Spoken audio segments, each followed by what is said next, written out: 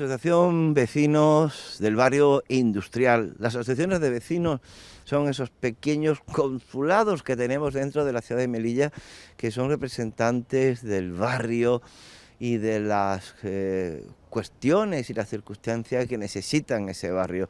Muchos vecinos pueden venir a asociaciones a hablar con su presidente o con su presidenta, contar lo que necesitan, los problemas que tienen ellos serán los portadores de esto hacia los responsables de la ciudad autónoma de Melilla. Eh, tenemos que dar las gracias a la Viceconsejería del Mujer, eh, que favorece y, es la que lleva todo el tema asociativo en nuestra ciudad.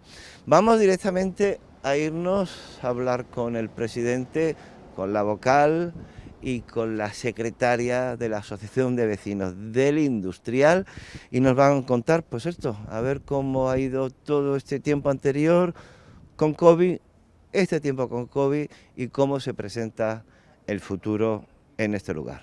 Adelante. Pues aquí estoy don José Antonio, conocido por todos como Pascualín. Don José, don José Antonio, ¿cómo quieres que te llame? José Antonio, Pascual. Pascualín, como toda la vida, encantado. Bueno, presidente de la Asociación de Vecinos de la Industrial desde hace, pues ya bastante tiempo, lleva ya tres años, ¿no, Pascualín, o más? El día 3 de enero hice, pues, cinco años. Cinco años, ya cómo pasa el tiempo. ¿Cómo pasa el 16, sí señor. Yo vine ya la primera vez a, entrevistarte. ¿Cómo pasa el tiempo? Nos hacemos viejos sin darnos cuenta. ¿eh? Hombre, yo soy de los que piensa que el tiempo no pasa, pasamos nosotros. Pero bueno. Eh, Asociación de Vecinos Industrial, la asociación es muy antigua. Realmente tú llegas hace cinco años, pero ya existía la asociación desde cuánto. ¿Tú te, acuerdas? Sí, hombre, claro. Vamos a ver, esta asociación de vecinos tiene mucha historia porque anteriormente fue eh, la conocida como Asociación de Vecinos Progreso. Esta asociación pues puede tener perfectamente pues desde el año 80 y 83 perfectamente, o sea, estamos hablando pues más de 40 años y es una de las más antiguas de la ciudad. Han pasado varios presidentes por aquí, personas muy conocidas, también muy queridas en la ciudad de Melilla. Y presidentes sobre todo muy respetables, presidentes que han hecho muy mucho por, tanto por la asociación como por el barrio, claro. Tengo de decir que nos encontramos en una de las habitaciones al lado de lo que es la asociación, es una parte, porque es una asociación que no es pequeña. Hay algunas asociaciones de vecinales en las cuales vamos y son más pequeñas, ¿eh? pero esta realmente son de las grandes, por así decirlo. Sí, es verdad que es un edificio, a ver, es un edificio bastante antiguo porque es una realidad. Este en concreto, este edificio, los conocidos como los pisos blancos de Álvaro de Bazán, esta vivienda tiene más de 75 años, o sea, son bastante antiguos, pero sí es verdad que abarcamos, pues, digamos, en cuatro partes pequeñitas, pues lo que es el bar, salón, Después tenemos lo que es esto, que es la oficina, para recibir a todos los socios por el tema de las cuotas, tema de reuniones y tal. Y después tenemos el Salón de la Mujer, que desgraciadamente lo tenemos cerrado desde aquel fatídico primer terremoto que hubo tan grande en nuestra ciudad. Y desde entonces todavía lo tenemos cerrado. O sea, que no es por cuestión del COVID, sino por el terremoto. Eso significa que la asociación necesita un arreglo. Sí, lo que en concreto eh, esa zona, ¿no? que es el Salón de la Mujer, donde se hacen todas las actividades, que ahora lo tenemos que hacer en el Salón del Bar, porque precisamente ahí hubieron unos daños bastante importantes de, de cimientos, de gran envergadura, y la ciudad está al, corriente de todo esto. Pero bueno, desgraciadamente, pues después ha venido también la pandemia, es tan desgraciada esta como estamos padeciendo, y yo creo que se ha quedado paralizado, entre comillas, pues... Perdón. No importa, no importa. ahora te cuento, eh, cuéntame una cosa. Hoy te he oído, oh, bueno, asociaciones siempre estáis eh, al pie del cañón y tenéis que promover actividades, ¿no? Eso es importantísimo. Yo sé que este año ha sido complicado y este año también lo va a ser, pero de las actividades que habéis hecho anteriormente y las que tenéis pensada hacer, ¿quién me puedes adelantar? A ver, yo te voy a decir, por ejemplo, vamos a ver, en ediciones pasadas nos tenemos que remontar pues prácticamente a, al, 2019 finales o principios de 2020, cuando hacíamos todas clases de actividades, pues como debería hacerla cualquier asociación, porque no todas la hacen, y es una verdadera pena, de participar en todas las actividades culturales, de participar en todos los concursos que se hacen a nivel ciudad autónoma, como hemos hecho nosotros y, y queremos seguir haciendo cuando se pueda, una Candelaria, unos carnavales, eh, unas cruces de mayo, nuestra propia caseta de feria.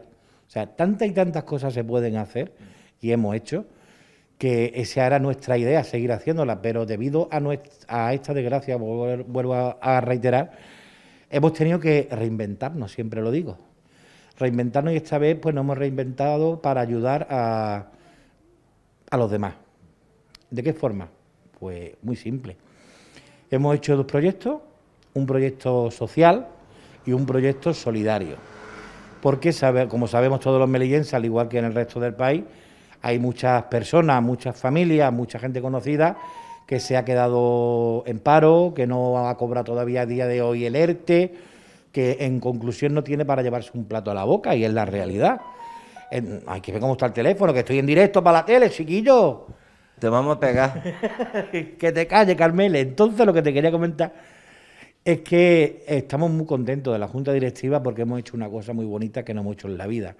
Hablo como asociación y es ayudar a, durante 32 días, porque no hemos podido más, lógicamente, a 28 familias, eh, darle su menú diario eh, durante, eh, bueno, ya lo he dicho, 32 días, que en total han sido unos 400 menús solidarios que hemos, hemos dado. Aparte hemos, hemos donado también al Banco de Alimentos y a otro banco mil litros de zumo. En fin, lo que hemos hecho es ayudar, hemos comprado 600, 600 mascarillas eh, de esta FFP2 o como se dice y también las hemos, las hemos donado.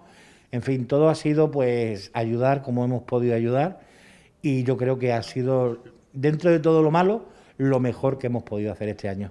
El industrial es un barrio, bueno, ya lo dice el nombre, fue un barrio industrial. Es un barrio con muchísima historia, muchísima historia y sigue siendo un barrio también muy populoso. ¿Qué necesidades necesita el barrio eh, en estos últimos tiempos? Si necesita algo, estáis de obra, sé que estáis de obra hace ya bastante tiempo, que eso también hay que aguantarlo y supongo que el futuro será bueno, claro, pero hay que aguantar. Es verdad que lo que es el, el barrio en sí está llevando un cambio radical, eh, lógicamente positivo, porque este barrio también, al ser... Eh, pues bueno, también uno de los más antiguos y en la, en la cual hay ahora mismo eh, censados en el barrio hay 8.000 personas, o sea que también un barrio importante de la ciudad. 8.000 personas más el Mercadona, que lo tenéis al lado. más el Mercadona, que yo creo que es lo que ahora mismo son uno de los puntos más que nos está dando, digamos, visita de todos los melillenses ¿no? a nuestro barrio es verdad que el Mercadona, a raíz de, la obra del Mercadona, de los aledaños, de, Marqués de Montemar, lo que es la, goleta y todo lo que se está arreglando, que está quedando precioso, también por lo contra, es verdad que acarrea consecuencias negativas, por así decirlo, para los vecinos, pero oye, el que quiere algo bonito, pues algo cuesta, ¿no? Y yo creo que en conclusión va a quedar todo muy, muy bonito como está quedando, ¿no? El barrio industrial, como tú bien has dicho antes, es un barrio era un barrio industrial donde, pues, por poner varios ejemplos, estaba el saladero, que tantas y tantas mujeres han trabajado en el saladero. Hoy no tenemos industria en este barrio, pero sí tenemos muchísimas tiendas, muchísimos, muchísimos comercios minoristas, muchísimos, eh, muchísimas cafeterías, eh, en fin, tenemos restaurantes, o sea, es que en el barrio tenemos de todo. Eh, ¿Cuántos sois en, la asociación, en el industrial, ahora, más o menos contabilizados? No, contabilizamos, vamos a ver, aquí contabilizamos, porque nosotros, mm, aquí hay que ser realistas, aquí, aquí no hay que decir, no, tenemos 300 socios, no. Aquí hay que contar las bajas, eh, porque también hay bajas por defunción, desgraciadamente, Aquí ahora mismo actualmente somos 164 socios, ni uno más ni uno menos. Que pagan, anualmente. Su cuota anual, que son 18 euros al año. O sea, más bien es simbólico dentro de lo que cabe, ¿no? Y dentro de, de esos 164 socios, pues sabemos una junta directiva de seis personas. Y gracias también, lógicamente, a mi junta directiva, porque yo sin ellos no soy nada tampoco, no podríamos acarrear todo lo que estamos haciendo, ¿no? Bueno, Pascualín, tú has sido también un gran cocinero y sigue siendo un gran cocinero. ¿eh? Eres una persona que en Melilla se conoce. Eh, los carnavales siempre han sido importantísimos para ti. Cuando hablamos de festivales, de disfraces, presentaciones, drag queen y demás, tú eres un pionero aquí en este sentido en la ciudad, pero pionero, pionero, ¿eh? Me acuerdo, me acuerdo de alguien que está por Madrid que me dijo en su día, oye Pascualín, ¿y por qué no nos vestimos nos transformamos y nos vestimos de mujer, hacemos un espectáculo. Y yo decía, anda ya, tú estás loco, no vale de la piedra aquí en Melilla. Estoy hablando hace ya, pues ya ves, más de 25 años. Y cuando empezamos, pues la verdad es que mm, dentro de ese momento, ¿no? En que Melilla era, digamos, por así decirlo, menos tolerante, porque es así, al igual que hoy en día da un cambiazo de 360 grados prácticamente. Y, y la verdad es que hemos tenido una vivencia muy buena, tanto cuando hemos hecho espectáculos a nivel, digamos, de cumpleaños, de bodas, de, bautizos, y pero sobre todo de bodas también, que es donde más le gustaba el cachondeo, ¿no? A los novios, a los invitados. Sí es verdad que recuerdo aquellas actuaciones en el, en el teatro, en el cine Perelló, en el cine Perelló, esos carnavales que año tras año nos llamaban para actuar, y esa cabalgata, y yo que sé, tantas cosas que la verdad es que siempre están ahí, se quedan en, la imagen, ¿no? Me encanta. Bueno, esperemos verte pronto también haciendo algo, a ver si es verdad. Bueno, ya que estamos casi, digamos, en carnavales, mmm, solamente digo una cosa, sorpresa, sorpresa, Isabel Genio.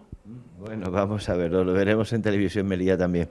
Quiero, eh, Pascualín, antes de mm, conocer a tu secretaria y tu vocal, bueno, o el equipo que formáis parte de este pequeño gobierno, yo siempre digo que las, que las eh, eh, asociaciones son pequeños consulados dentro de una ciudad que sirven para que tanto los vecinos se reúnan, los amigos se reúnan, pero también para escuchar las cosas que ocurren en el, en el barrio, porque realmente vosotros sí podéis llegar a, a los sitios de poder. En este caso, la viceconsejería del, del Mayor, la consejería de, de, acciones vecinales, que es la que más o menos eh, controla y también la que os tienen que ofrecer esas subvenciones que os tienen que dar anualmente, ¿no? Hombre, claro, hay que darse cuenta que nosotros, eh, no lo digo por mí solo, lo digo por todas las asociaciones de vecinos generales que hay en nuestra ciudad. Si tuviéramos que subsistir con la cuota de los socios, no la mía nada más, sino todas en general, sería nula prácticamente. No podríamos hacer, vamos, ni el 90% de lo que hacemos, ¿no? De las actividades. De hecho, por eso, eh, como este año no se podía hacer ni festividades a favor de los vecinos, ni de los socios, ni el rocío, ni feria, ni nada, pues ese dinero como estaba ahí, eh, pues antes de tener que devolverlo al ayuntamiento, por así decirlo, hemos querido de alguna forma u otra entregárselo de la mejor manera a, los melillenses. Por eso ya te comentaba antes todas las cosas que, que hemos hecho. Bueno, si te parece bien, vamos a, a dar paso a que vengan secretaria y vocal y estamos aquí en un segundito. Bueno, pues seguimos aquí. Ana, que es la vocal, y Ana María, que es la, bueno, la vocal de la mujer, ¿eh? Y Ana María, que es la secretaria. Eh, Ana María, cuéntame, como secretaria, ¿cuál es tu labor real aquí en la asociación? Bueno, pues echarle una mano al presidente en todo lo que se pueda, preparar papeles cuando hay que preparar, estar pendiente de las mujeres cuando hacemos la lotería familiar que hacemos, las comidas y todo eso, pues está pendiente. Bueno, ¿llevas tiempo aquí en la asociación? muchos años. ¿Cuántos años lleva? Yo para mí que por lo menos 30 años llevo yo aquí. 30 años, así que ha visto pasar, como se llamaba antes, progreso, cómo ha ido cambiando y ¿Y cómo has, has, ido viendo los cambios que ha tenido la asociación y el barrio? Bueno, la asociación, el cambio, cada presidente que ha venido ha ido poniendo sus normas, que en cuestión de mujeres, bueno, más o menos siempre igual, porque hemos tenido nuestros cortes y confección los cursos, luego teníamos eso, las loterías familiares, en fin, bien, porque cada presidente ha puesto lo suyo el barrio, pues bueno, es verdad que está cambiando, pero mucho. De un año para otro esto va dando una vuelta, pero bastante grande. Y, bien. Como, como secretaria, bueno, aparte de corte, confección, actividades que realizáis, eh, ¿es una asociación que hay más mujeres que hombres o hay al contrario? Mm, yo creo que hay más mujeres que hombres. En cuestión de, de hacer cosas, eso es más mujeres que hombres. Con participación. Siempre pasa, ocurre esto siempre en casi todas, es una cosa común.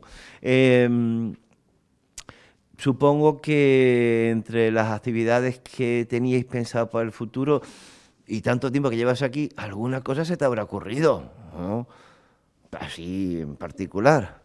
Es que en realidad mucho, hemos hecho tanto, los últimos años hemos hecho todo, porque se ha hecho Cruce de Mayo, se ha hecho Carnaval, se ha hecho Belén, se ha hecho de todo. Y entonces, incluso ya la feria, que eso no lo habíamos hecho nunca, eso es novedad. A tu madre la entrevisté en feria, que me dijiste que ella trabajaba en radio, trabajó en radio, ¿no? ¿Cómo se llama tu madre? Ella era Pepita Ortuño Plaza. Ella era, sí, estaba en la radio. ¿Qué radio era? No me acuerdo la radio porque en los, años... Y además hacía los, estos del nodo, de la, la, Vamos, lo que es la... Lo diré. Los noticiarios. los noticiarios también lo hacía ella, sí, eso era su, su profesión. Qué bonito, y mira que me quedé con las ganas de, de hablar, de hablar con ella. Tenemos aquí a, a, María Dolores, que es el vocal de la mujer. ¿Qué es vocal de la mujer? ¿Qué significa esto, ser vocal de la mujer y no ser vocal del hombre? No, de mujer mejor. Eh, la vocal, por procurar estar pendiente de que todas vinieran en esta pandemia con su gel, con sus mascarillas bien puestas porque sobre todo su separación, estar pendiente de que las mujeres, pues lo que pasa, hay muchas mujeres, muchas mayores, están ya que si una discute, que si la otra dice, pendientes de ella, de llevarla sobre todo lo mejor que se pueda. Dentro de las asociaciones, supongo que pasa como en todas las familias y buenas familias, que habrá también sus peleas. ¿Os soléis pelear mucho a veces por algunas cositas? La verdad es que no, que tenemos mucha armonía entre todas. Siempre hay un rabillo ahí con alguna que son especiales, pero bueno, se sobrellevan. Casi nunca llega la sangre al río. Gracias a Dios, todas unidas para todos. Eso es importante, estar todos, todos unidos. ¿Desde cuándo llevas en la asociación? Pues yo llevo ya por lo menos 20, 24 años por lo menos. ¿Os conocíais vosotras dos? Nos conocimos aquí, nos hemos hecho amigas inseparables. Sí, ¿eh? Qué bonito. Sí. ¿Y a Pascual conocíais? Pascual también lo conocía, bueno, cuando él era un niño yo entraba ya a su casa con su madre, en el Real, donde vivían, donde la parada de taxi. Ah. ¿Y, siempre, ha sido así de, buena persona? Siempre. La verdad que lo conocí de chico y ya luego cuando ya empezamos aquí a la asociación. Y ya Hicimos un memento muy bonito, un programa de recuerdo de, su, de su infancia. Bueno, el futuro de las asociaciones. ¿Cómo ves el futuro tú, Pascualín? ¿Qué podríamos dar y qué...? El futuro de las asociaciones, yo mm, parto de la base y me van a perdonar todo por lo que voy a decir, porque puede parecer una barbaridad. Parto de la base de que hace falta juventud en las asociaciones. Porque es verdad que hay personas que ya tienen una cierta edad y no es que no estén capacitadas ni nada, sino que a lo mejor pues ya no tienen ese ánimo, no tienen esas ganas y que están pues prácticamente a lo mejor por obligación. Y yo animaría a la juventud, que tenemos muchas melillas y juventud buena, de que se apunten a las asociaciones de vecinos de sus respectivos barrios, porque es bueno y se pueden hacer muchas cosas buenas desde, y actividades desde las asociaciones. Y en cuanto a lo que me has preguntado aparte, pues bueno, pues, pues eso, que, que hay que animarse y ahora estamos en una, como todos sabemos, en una pandemia, que a ver si ya nos vacunamos pronto, esperemos que sí, que todo marche bien, para poder estar en verano ya y no sabemos si en feria este año, si Dios quiere, habrá feria, lo vemos complicado, pero bueno, nosotros desde luego como Asociación de Vecinos Industriales vamos a estar siempre donde se nos llame y vamos a participar donde se pueda, siempre y cuando con todas las medidas y todas las precauciones sanitarias, está claro. Tiene razón en esto último, vamos a ver cómo funciona, pero también tiene muchísima razón que las asociaciones de vecinos necesitan savia fresca. Y el tema es cómo atraer a esta savia fresca a estos lugares, eh, utilizando los locales para hacer bailes, eh, teatro. Hace poco, hará dos años, tuvimos aquí un baile, unos profesores, Juan y Dori y Juan, y la verdad, por falta de juventud, tuvieron que dejarlo. La verdad era súper precioso el baile, luego también la costura y personas jóvenes que también les gustan, mm, juegos, campeonatos de juegos, todas esas cosas. Yo creo que la juventud tenía que animarse y venir pues, a, las asociaciones. Yo también me gustaría añadir, porque me ha, me ha llegado ahora cuando lo has comentado, no sé si tú conocerás, yo me imagino que sí, cuando digas nombre y todos los melillenses, Ceres Machado. Bueno, pues Ceres Machado, la grandísima eh, melillense que, aparte de directora, guionista, en fin, mm, está haciendo muchísimas cosas. Ahora en pandemia sigue haciendo cosas. Eh, hace 20, me contó la anécdota y yo, ya ves tú, yo, yo no lo sabía. Hace 20 años, 20 años, ella ensayaba en los locales de la asociación.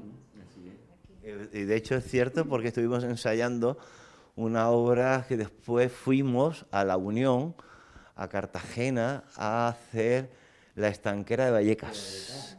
Y estuvimos ensayando aquí, cuando era Mansilla presidente. Si estoy hablando hace ya mucho tiempo. Estabas tú aquí. don Antonio Mansilla, en paz descanse, eh, grandísimo presidente, ah, donde lo ha habido, desde luego.